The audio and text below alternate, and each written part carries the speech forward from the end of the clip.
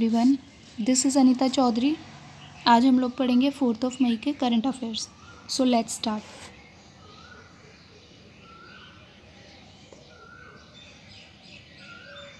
हमारा पहला क्वेश्चन है, हाल ही में वर्ल्ड ट्यूना डे मनाया गया। ये कब मनाया गया था? Second May two thousand twenty first May two thousand twenty thirty April two thousand twenty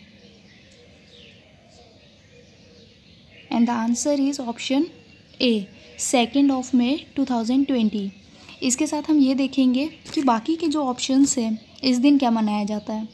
तो एक मई को मनाया जाता है राष्ट्रीय मजदूर दिवस, यानी कि नेशनल लेबर डे और तीस अप्रैल को मनाया जाता है, हम सबने पढ़ा था आयुष्मान भारत दिवस, जिसका जवाब आप सब लोगों ने कमेंट सेक्शन में दिया था। ठीक है, अपन देखते हैं ट्यूना क्या है। ट्यूना एक मछली है। ट्यूना क्या है? मछली की एक वैरायटी है। हर वर्ष संयुक्त राष्ट्र द्वारा ट्यूना मछली की प्रजाति के संरक्षण के महत्व पर बल देने के लिए विश्व ट्यूना दिवस मनाया जाता है। संयुक्त राष्ट्र ने 2016 में एक प्रस्ताव पारित किया और विश्व ट्यूना दिवस 2017 से मनाया जाने लगा है। यानी कि ये चौथी बार मनाया गया। आगे हम देखते हैं। अब हम देखते हैं संयुक्त राष्ट्र के बारे में कुछ। संयुक्त राष्ट्र की जो स्थापना है, वो हुई थी 24 अक्टूबर 1945 को। इसका जो मुख्यालय है, यानी इसका हेडक्वार्टर जो है, वो कि न्यूयॉर्क में है और इसकी अभी प्रेजेंट में महासचिव है एंटोनियो गुटेरस। आप सबको ये सब याद होना चाहिए, यूनेस्को के बारे में ये सब बहुत इम्पोर्टेंट है। नेक्स्ट क्वेश्चन विश्व के सबसे बड़े समुद्री अभ्यास रिम ऑफ़ द पैसिफिक की मेज़बानी कौन सा देश करेगा? Your options are Australia America Pakistan या Britain and the answer is option two America next question किस संस्था ने कोविड नाइन्टीन के मद्देनज़र किसान सभा नामक एक ऐप लॉन्च किया है? केंद्रीय सड़क अनुसंधान संस्थान, रक्षा अनुसंधान और विकास संगठन, हिंदुस्तान एरोनॉटिक्स लिमिटेड या फिर Reliance Industries. And the answer is option A केंद्रीय सड़क अनुसंधान संस्थान। नेक्स्ट क्वेश्चन हाल ही में किस राज्य के केसर को भौगोलिक संकेतक यानी जीआई टैग मिला है? आंध्र प्रदेश, कर्नाटक, जम्मू कश्मीर या फिर राजस्थान। और ये तो आप सबको पता ही होगा कि हमारे इंडिया में सबसे ज़्यादा केसर, सबसे ज़्यादा क्या सिर्फ़ केसर होती ही जम्मू कश्मीर में। तो इसका आंसर है जम्मू कश्मीर। अब इसके साथ हम ये जम्मू कश्मीर के बारे में कुछ और चीज़ें देख लेते हैं।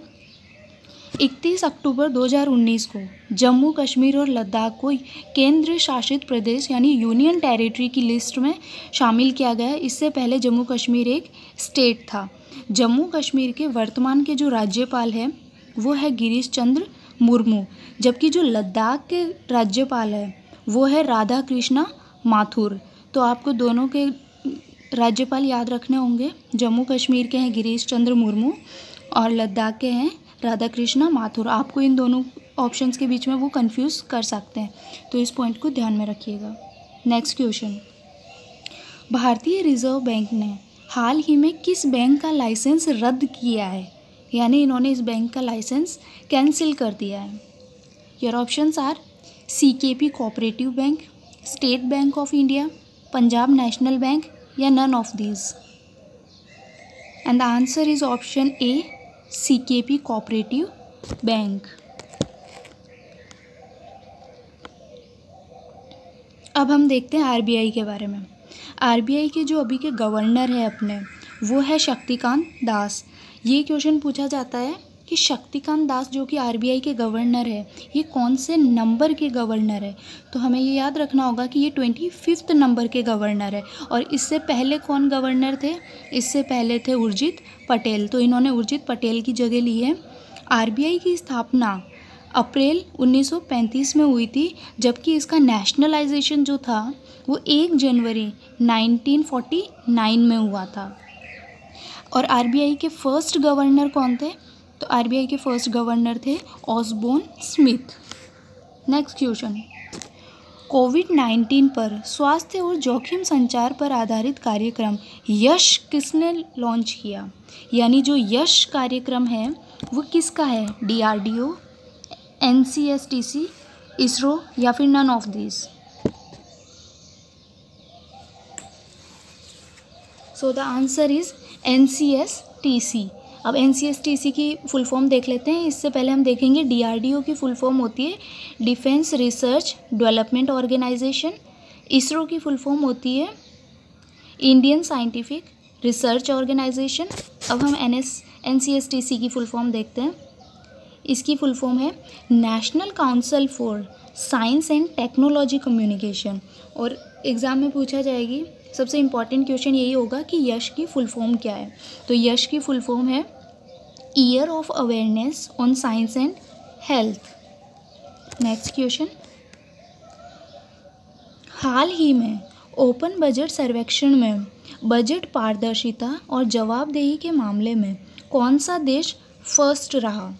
न्यूजीलैंड अमेरिका भारत या फिर जर्मनी न्यूजीलैंड अमेरिका भारत या Germany? And the answer is option A New Zealand Bharat की इसमें कौन सी रैंक थी? भारत में इसकी फिफ्टी थर्ड रैंक थी।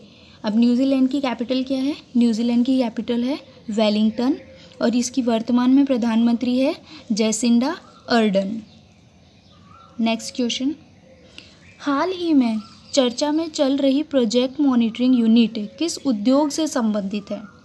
परिवहन, कृषि, सीमेंट या फिर कोयला उत्पादन? And the answer is option D कोयला उत्पादन.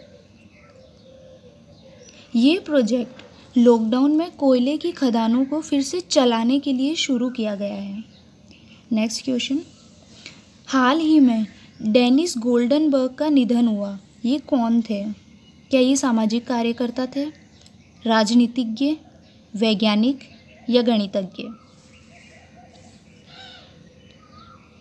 And the answer is option A सामाजिक कार्यकर्ता। इन्होंने क्या किया था? इन्होंने रंग भेद, यानी डिस्क्रिमिना डिस्क्रिमिनाइजेशन को मिटाने के लिए नेल्सन मंडेला के साथ कार्य किया तथा 20 साल की इनको जेल भी हुई थी।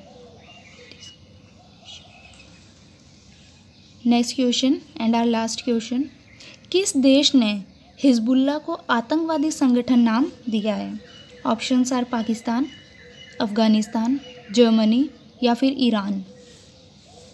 And the answer is option C Germany. Germany ने क्या किया है? जर्मनी सरकार ने इस आतंकवादी संगठन की सभी गतिविधियों को प्रतिबंधित कर दिया है। जर्मनी की कैपिटल है बर्लिन। जर्मनी की करेंसी है यूरो और यहाँ की चांसलर है एंजेला मर्केल, ओके? और जो मैंने कल सवाल पूछा था, यानी तीस अप्रैल को क्या मनाया जाता है, उसका आंसर था तीस अप्रैल को आयुष्मान भारत दिवस मनाया गया। आज का सवाल है आपका, हाल ही में कौन सा देश आईसीसी टेस्ट रैंकिंग में फ़र्स्ट रहा? ऑस्ट्रेलिया, इंग्लैंड, भारत या न्यूजीलैंड ऑस्ट्रेलिया, इंग्लैंड, भारत या न्यूजीलैंड आप सबको इसका जवाब कमेंट बॉक्स में देना होगा और मैं इसका जवाब चेक करूँगी कि किस किस ने सही जवाब दिया है। Thank you everyone if you like this video then please do share subscribe and like thank you